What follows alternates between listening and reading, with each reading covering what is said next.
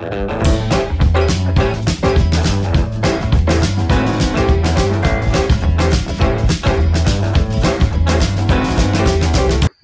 assalamualaikum warahmatullahi wabarakatuh. Selamat malam, selamat pagi, selamat siang, dan selamat sore untuk semuanya ya. Untuk kesempatan video kali ini, saya membuat general reading untuk Yodia Cancer Desember 2021. Dan sebelum saya mulai bacaan saya, bacaan saya ini bisa resonate ataupun tidak resonate, itu tergantung energi kamu masing-masing. Karena ini general umum energi semua orang ya. Dan jika menurut kamu bacaan saya ini tidak cocok dengan kamu berarti ini bukan energi kamu anggap aja ini sebagai hiburan karena ini hanya sebatas prediksi oke? Langsung saya mulai bacaan untuk general reading untuk Yodia Cancer Desember 2021 ya. Dan untuk yang pertama sick of ones di mana adanya orang-orang yang memang apa ya ingin berusaha menjatuhkanmu. Ingin berusaha merusak segalanya atas apa yang sudah kamu rencanakan atas apa yang sudah kamu persiapkan. Nah jadi gunakanlah pikiran yang tenang gunakanlah ketenangan hati dan pikiran kamu. Terlebih kamu harus bisa mengendalikan emosi kamu. Karena apa? Jika kamu menghadapi semuanya dengan pikiran yang kacau, hati yang tidak tenang, maka apa pun yang dihadapkan kepada kamu itu akan semakin berantakan dan tidak akan kunjung selesai. Tetapi jika kamu menghadapi semua yang dihadapkan kepada kamu dengan kepala dingin, dengan hati yang tenang, dan kamu bisa mengontrol emosi kamu, kamu pasti bisa menyelesaikan semuanya dan apa pun yang dihadapkan kepada kamu, kamu pasti bisa menghadapi dan melewatinya. Ya. Karena apa ya? Karena di sini dari kartu ini saya merasakan bahwa memang banyaknya orang-orang yang memang ingin ber, apa ya menjatuhkanmu ataupun ada beberapa pengkhianat yang sedang berada di sekitar kamu. Nah, jadi kamu harus lebih bisa berhati-hati atas tindakan kamu, atas ucapan kamu.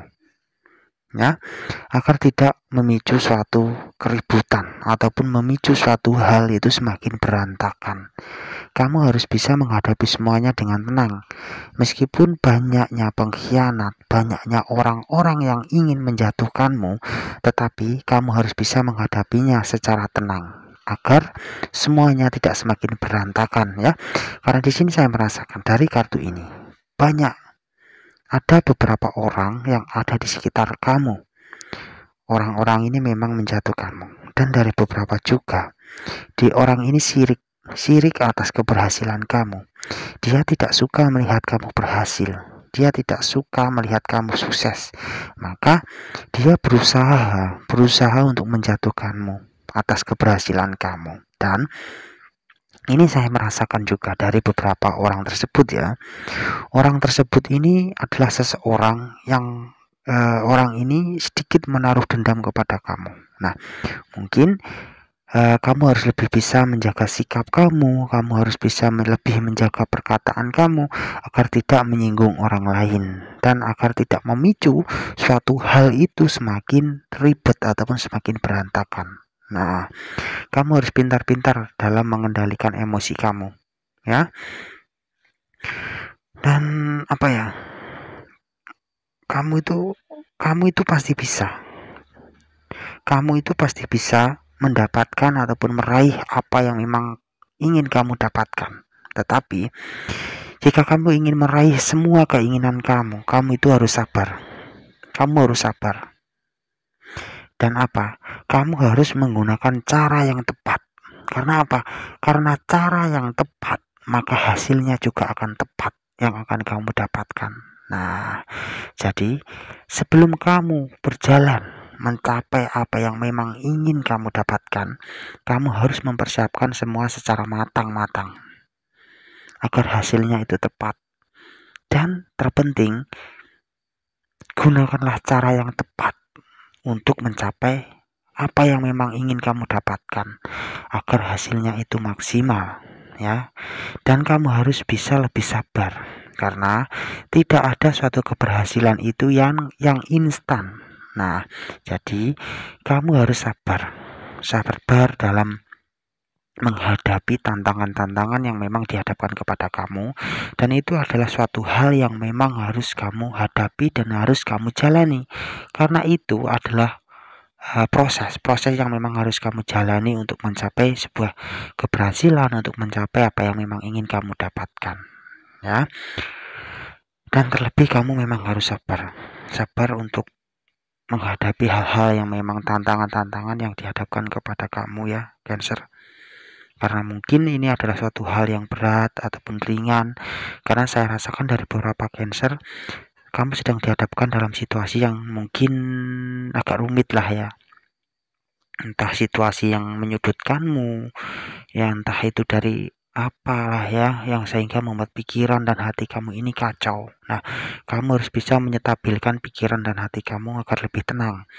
Pikiran yang jernih, hati yang tenang, itu kita akan lebih mudah, lebih mudah untuk menemukan solusi, untuk menemukan jalan keluar, untuk menemukan ide-ide cemerlang, atas apa yang akan kita kerjakan. Nah, tetapi jika pikiran kita kacau, hati kita kacau, kita itu akan sulit. Sulit dalam menemukan suatu jalan keluar, sulit menemukan titik terang, sulit menemukan ide-ide cemerlang dalam mencapai apa yang memang ingin kita dapatkan. Nah, ya. Dan two of grace mungkin dari beberapa cancer kamu akan ataupun sedang dihadapkan dalam situasi yang apa ya pilihan Nah, ada dua pilihan yang sedang dihadapkan kepada kamu. Dua pilihan ini adalah dua pilihan yang sama-sama penting, tetapi saling bertolak belakang. Nah, di sinilah yang akan membuat kamu ragu, membuat kamu bingung dalam menentukan suatu pilihan tersebut. Nah, dan di sinilah yang terpenting, gunakanlah hati dan pikiran yang tenang dan jernih, agar kamu lebih mudah untuk menemukan apa yang memang terbaik untuk kamu. Nah, dan kamu juga harus mengikuti kata hati kamu karena kata hati terkadang itu lebih baik dari semuanya. Ya. Dan apa ya? Mungkin dari beberapa cancer di dalam suatu pekerjaan yang sedang kamu jalani, kamu mempunyai tim. Tim ya. Nah, di sini jika kamu melakukan uh, terjun dalam suatu pekerjaan yang menggunakan tim dalam bekerja, nah, kamu harus bisa lebih mengutamakan persaudaraan. Dan lebih harus bisa sama-sama bisa uh, percaya satu sama lain. Karena di situlah yang akan menuntun kamu untuk mencapai suatu keberhasilan. Kerjasama kerja sama tim itu sangat bagus untuk mencapai suatu keberhasilan. Ya, ini untuk beberapa cancer yang kamu sedang terjun di dalam suatu pekerjaan yang menggunakan tim dalam bekerja itu, ya. Dan saya perlu ingatkan lagi, jadi memang banyaknya orang-orang yang memang tidak suka sirik kepada kamu, yang ingin berusaha menjatuhkanmu, kamu itu harus lebih tenang, ya. Kamu harus bisa tenang kamu harus kelihatan tenang. Ya. Jika kamu bingung, jika kamu gugup, jika kamu emosi dalam menghadapi semua itu, justru itu akan membuat mereka-mereka yang tidak suka kepada kamu itu bahagia. Karena mereka sudah merasa tenang, mereka akan merasa senang, mereka akan merasa menang ya untuk menjatuhkanmu. Tetapi jika kamu menghadapi semuanya dengan pikiran dan hati yang tenang, Nah, itulah yang akan membawa kamu dalam sebuah kemenangan untuk mencapai keberhasilan kamu, Cancer.